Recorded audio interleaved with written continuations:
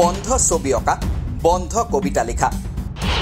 হিমন্ত বিশ্ব শৰ্মাৰ অসমত বন্ধ দেৱালত চৰকাৰ বিৰোধী শ্লোগান লিখা।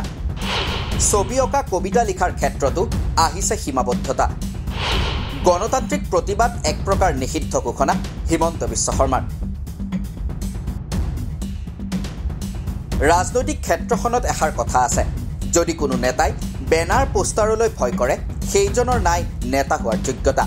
একেদৰে বেনাৰ পোষ্টাৰ বা ছবিৰ বাবেই যদি কোনোবা আৰক্ষী প্ৰশাসনৰ ৰোষত পৰিবলগীয়া হয় তাত নাথাকে গণতান্ত্ৰিক পৰিৱেশ।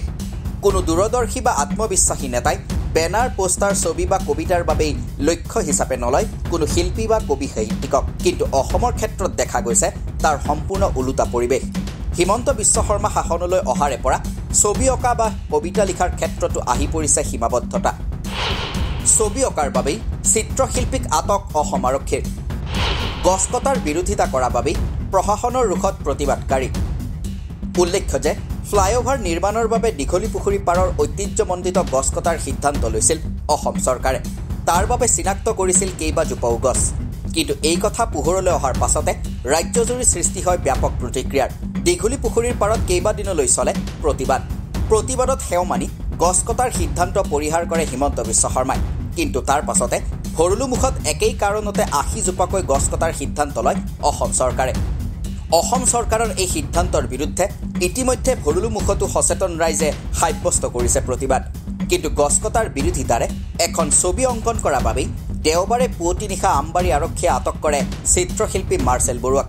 মাৰ্চেল বৰুৱাৰ লগতে জাতীয় যুৱ বাহিনীৰ প্ৰচাৰ সম্পাদক অংকুমান বৰদলৈ আৰু কমল কুমাৰ নামৰ এজন স্থানীয় লোককো আটক কৰে আৰক্ষীয়ে। উল্লেখ্য যে অসম চৰকাৰৰ এনে কাৰ্য এয়াই প্ৰথম নহয়। ইয়াৰ পূৰ্বেও কবিতা লিখা ছবি অঁকাৰ বাবেই হিমন্ত বিশ্ব শৰ্মা চৰকাৰৰ ৰোষত পৰিছিল কেইবাজনো লোক। মাত্ৰ কেইদিনমান পূৰ্বেই গিবনৰ হোলক ৰক্ষাৰ বাবে মাৰ্চেল বৰুৱাই অঁকা আন এখন ছবি মচি দিছিল আৰক্ষীয়ে। একেদৰে বৃহৎ নদীবান্ধৰ বিৰোধিতাৰে ছবি আঁকি প্ৰশাসনৰ ৰোষত পৰিছিল নীলিম মহন্ত নামৰ চিত্ৰশিল্পীগৰাকীও। কেৱল ছবিৰ ক্ষেত্ৰতে নহয় কবিতা লিখাৰ বাবেও হিমন্ত বিশ্ব শৰ্মা চৰকাৰৰ ৰোষত পৰিছিল কেইবাগৰাকীও।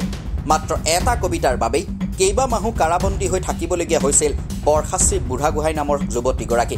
এয়া মাত্ৰ উদাহৰণহে। হিমন্ত বিশ্ব শৰ্মাৰ দিনত অসমত সংঘটিত হৈছে এনে আন কেইবাটাও ঘটনা।